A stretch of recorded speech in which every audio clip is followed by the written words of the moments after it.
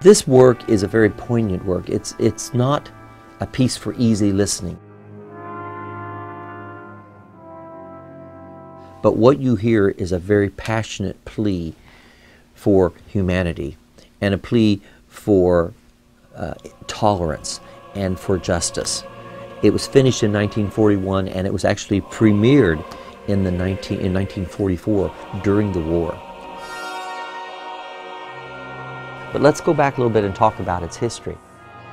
Well, the story is that uh, on November 7, uh, 1938, a young Polish Herschel Grynszpan went into the German embassy and shot one of the one of the employees, a secretary there. He was angry.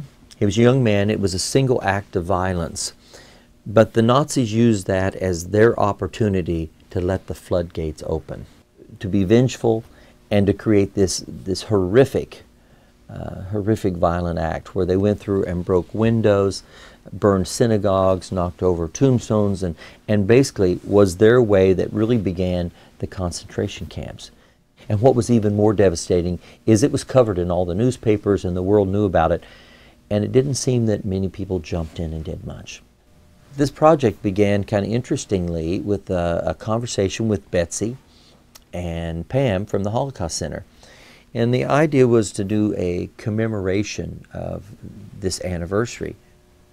The partnership began with the Holocaust Center, and then more people started jumping on board because it's great, such a great project. Now we're trying to use this as an opportunity to talk about all kinds of current topics such as bullying and intolerance and injustice.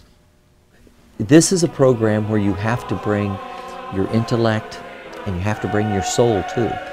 Not only was this piece appropriate then and spoke of the times and, and the, the, the horror and the misery uh, of humanity at that time, it speaks now.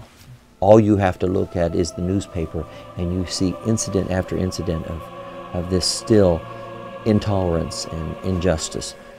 And so this piece is not lost in its poignancy. As a matter of fact, it's gained more.